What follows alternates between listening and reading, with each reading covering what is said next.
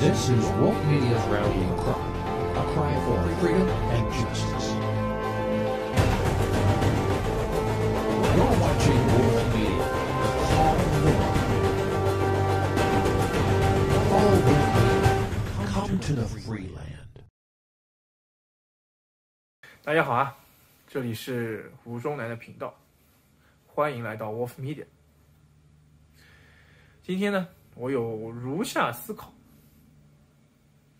为什么西方人在跟中国人打交道的时候，在一些细节上总会被中国人技压一筹呢？为什么中国的中国人的这些就是骗术、小伎俩？说一套做一套，总会如此奏效呢？在我进行一些深入思考之后啊，我发现，事实上每一个中中国人，他都是说一套做一套的大师。请听我娓娓道来。人为什么要说一套做一套呢？人为什么不能言行一致、知行合一呢？那么，人这么做必然是有目的。他一定是为了掩盖、隐藏一些什么东西。从我个人的经验来看，大部分人在工作当中，在社会合作当中，对于，对吧？对于除了自己家人、除了自己亲人以外，那么首选的就是要说一套做一套。这个呢，可以说是中国文化当中的一个精髓。那么。说一套做一套，最大的好处呢，就是啊，可以保持一种信息的不对称。中国具有几千年的专制历史，当今中国呢，亦是一个马列主义政党统治之下的集权社会。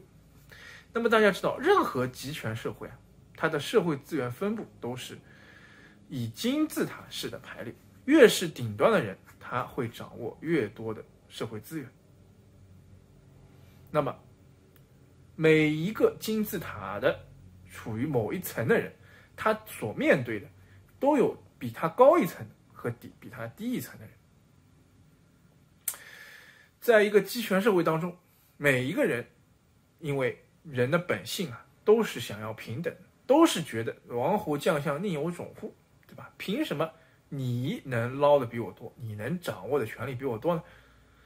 所以说呢，为了维持、维护整一个金字塔体系的稳定呢，每一层的人他都会倾向于向下一层的人隐瞒自己到底掌握了多少实际资源和实际权利。那么，这就是真正的说一套做一套的最大的用意所在。举个例，举个例子来说，就以医疗系统的例子来说，医疗系统内部那些既得利益集团，也就是进进入了高级职职称副副高和正高以以上的这些医疗人员，他们对外口口声声，对吧？宣传跟跟宣传的保持一保持一致，对吧？就是说行医。对吧？要一切为患者着想，然后呢，又又是又是不能这个收受患者的好处，收受患者的红包，但是呢，实际上背后在干的东西是什么呢？其实他们心里非常清楚，这就是典型的说一套做一套，他们对外面对他比他们等级低的人。采用一套官方的冠冕堂皇的说辞，然而在这些中层级以上干部的内部，他们有一个小圈子，在这个小圈子里，他们相互之间沟通交流，其实是完全是采用另一套说话的方式。你没有进入到这个小圈子里面，你甚至都无法想象他们的这种语气是怎样的，他们这种语气是。如何的唯利是图，是如何的有一种匪气在里面。中国社会时时处处存在着各种各样的小圈子，小圈子当中套着更小的圈子。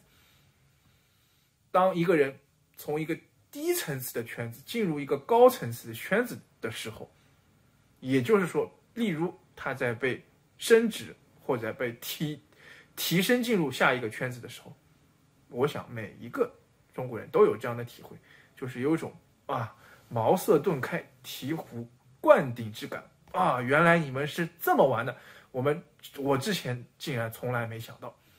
那么他下下一步的行动是什么？因为他已经进入这个圈子，所以他就会融为这个圈子的一员。他会学着这个圈子内部的其他人一样，对外部说一套做一套，隐瞒他们内部真正的真相。如此就循环往复，金字塔一层一层向上爬，他们掩盖的东西也越来越多。所以说呢，同时这个人的这个说一套做一套的能力啊，就越来越达到一种炉火纯青的地步。因为在每一次每一次金字塔攀升的过程当中，都有说一套做一套能力不够合格的人会逐渐被筛选。被踢出这个小圈子之外，使他的社会阶层就固化在他当时所属于那个圈子。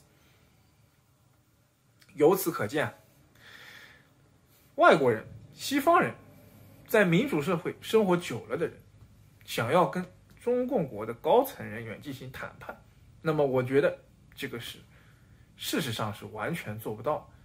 如果他们还是一样，就是民主社会当中人与人之间关系去看待那些来自中共官场高层的这些人精，那么他在谈判当中，那必然会被中共这些官员的花言巧语、各各种海阔天空的夸下海口、各种各样的保证、各种各样的承诺所打的天花乱坠。